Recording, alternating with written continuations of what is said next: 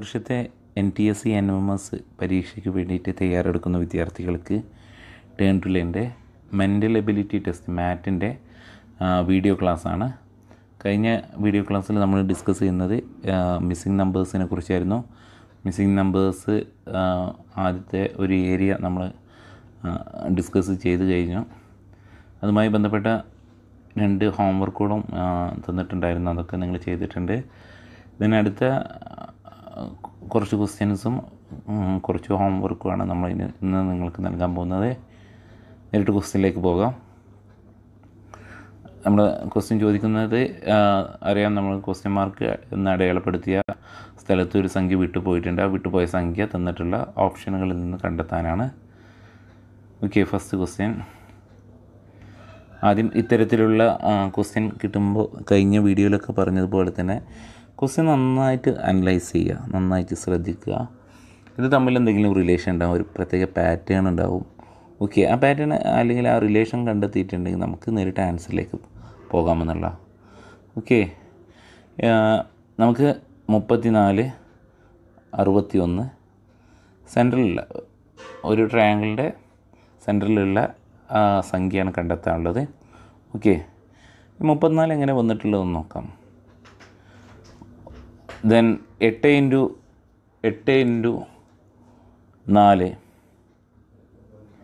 മുപ്പത്തിരണ്ടാണ്. Then എട്ട് into നാല് മുപ്പത്തിരണ്ട്. ദെൻ ഈ ആ കിട്ടിയ സംഖ്യ മുപ്പത്തിരണ്ടിനെ രണ്ട് കൊണ്ട് കൂട്ടിയാൽ മുപ്പത്തിരണ്ടിനോട് രണ്ട് കൂട്ടിയാൽ നമുക്ക് ഈ മുപ്പത്തിനാല് കിട്ടുന്നുണ്ട്. ഓക്കെ അങ്ങനെയാണ് ഈ മുപ്പത്തിനാല് കിട്ടുന്നത്. അതുപോലെ ഇവിടെയും കിട്ടുന്നുണ്ടോ നോക്കാം. പന്ത്രണ്ട് ഇന്റു അഞ്ച് അറുപതാണ്.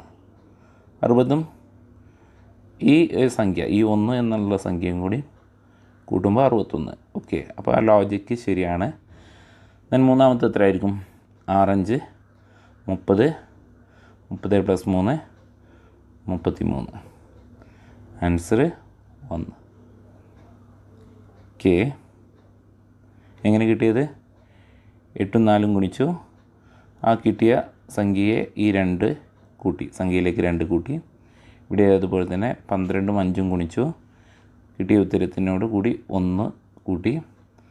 ദെൻ അങ്ങനെ ഈ അറുപത്തി ഒന്ന് കിട്ടി ദെൻ ആറഞ്ച് മുപ്പത് അതിനോട് കൂടി മൂന്ന് കൂട്ടിയാൽ മുപ്പത്തി മൂന്ന് ക്ലിയർ സെക്കൻഡ് ക്വസ്റ്റ്യൻ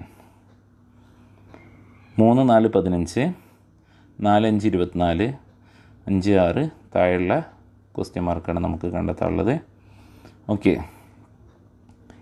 പതിനഞ്ച് ഇരുപത്തിനാല് ദെൻ ലാസ്റ്റത്തെ എത്രയെന്നാണ് ഈ പതിനഞ്ച് എങ്ങനെ കിട്ടുക?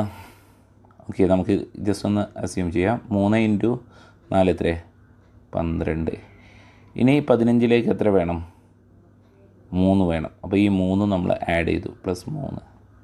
അങ്ങനെ ഈ പതിനഞ്ചിൽ നമുക്ക് ലഭിക്കുന്നുണ്ട്. അതുപോലെ ആ ലോജിക്ക് ഇവിടെ ശരിയാകുന്നുണ്ടോ നോക്കാം. നാല് ഇന്റു അഞ്ച് എത്ര ഇരുപത്. ഇരുപതിനോട് കൂടി നാല് കൂട്ടി ഇരുപത്തിനാല് കിട്ടുന്നുണ്ട്. ഓക്കെയാണ്. അങ്ങനെയാണെങ്കിൽ അഞ്ച് ഇന്റു ആറ് മുപ്പത് പ്ലസ് ഈ അഞ്ചും കൂടി കൂട്ടിയാൽ മുപ്പത്തഞ്ച്. ഓപ്ഷൻ എത്രയാണ്? മുപ്പത്തഞ്ച്. ശരിയാണ്.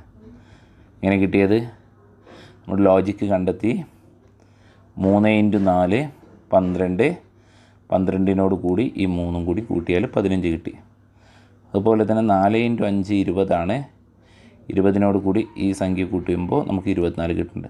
അതേ ഫോർമാറ്റ് നമ്മൾ തുടർന്നു അഞ്ച് ഇന്റു ആറ് മുപ്പത്. മുപ്പതിനോട് കൂടി അഞ്ച് കൂട്ടിയാൽ നമുക്ക് മുപ്പത്തഞ്ച് ആൻസർ കിട്ടി. ദെൻ അടുത്ത ക്വസ്റ്റ്യൻ നോക്കാം. ഓക്കെ ഒരു ട്രയാങ്കിൾ തന്നിട്ട് അതിനെ മൂന്ന് പാർട്സ് ആക്കിയിട്ടുണ്ട്. ഇരുപത്തഞ്ച് അറുപത്തിനാല് ദെൻ ക്വസ്റ്റ്യൻ മാർക്ക് അപ്പോൾ ഇരുപത്തിയഞ്ച് എന്നുള്ളത് അഞ്ചിന്റെ സ്ക്വയറാണെന്ന് നമുക്കറിയാം. അറുപത്തിനാല് എന്നുള്ളത് എട്ടിന്റെ സ്ക്വയറാണ് അപ്പോൾ അഞ്ചും എട്ടും ഇവിടെ ഉണ്ട്. ഓക്കെ അപ്പോൾ സ്വാഭാവികമായിട്ടും ഉള്ളിൽ വരേണ്ടത് ഒമ്പതിന്റെ സ്ക്വയർ ആയിരിക്കും. ഒമ്പതിന്റെ സ്ക്വയർ എത്ര എൺപത്തൊന്ന്. ഉത്തരം എൺപത്തൊന്ന്. ഒന്നുകൂടി പറയാം. ഇരുപത്തിയഞ്ചും അറുപത്തിനാലുമാണ്. ഇരുപത്തിയഞ്ച് എന്നുള്ളത് അഞ്ചിന്റെ സ്ക്വയറാണ്. അറുപത്തിനാല് എന്നുള്ളത് എട്ടിന്റെ സ്ക്വയറാണ്.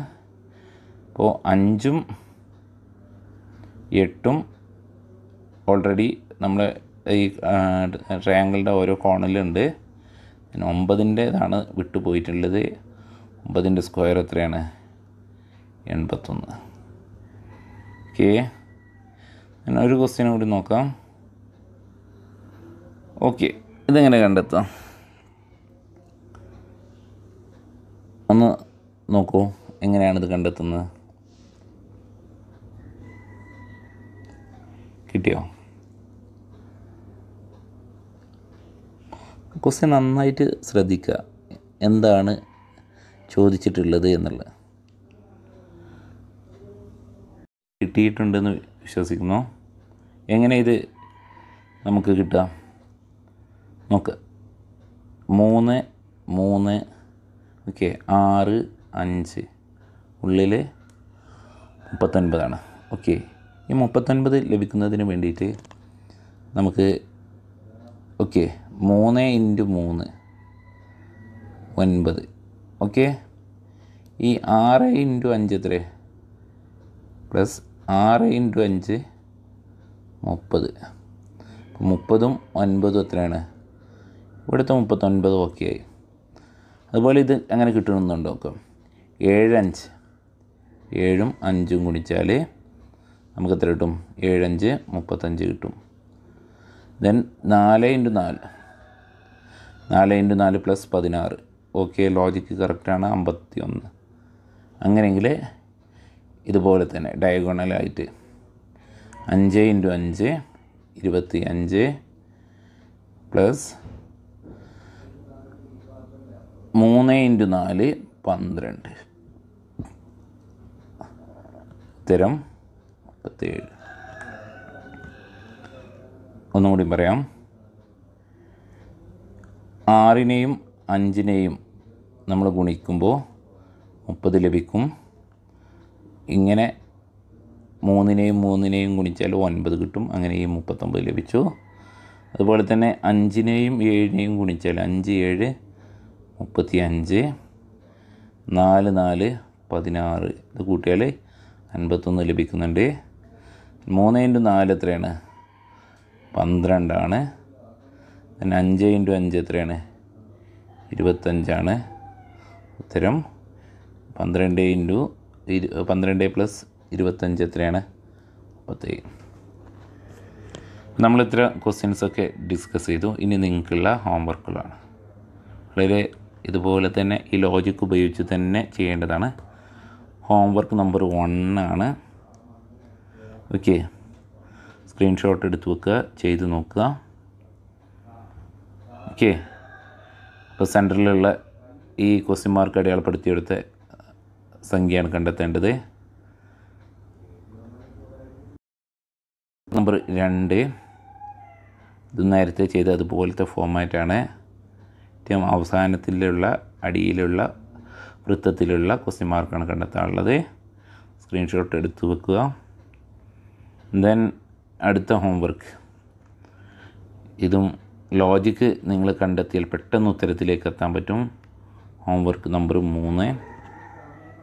ദെൻ ലാസ്റ്റ് ഹോംവർക്ക് നാല് ഹോംവർക്ക് ഇതിൽ ഏറ്റവും അവസാനത്താണ് കണ്ടെത്താനുള്ളത്. ഓക്കെ ഹോംവർക്ക് നമ്പർ നാല്. ഓക്കെ ഹോംവർക്കൊക്കെ ചെയ്യാം. ആൻസർ കമന്റായിട്ടും ആൻസർ കമന്റ് ചെയ്യാം.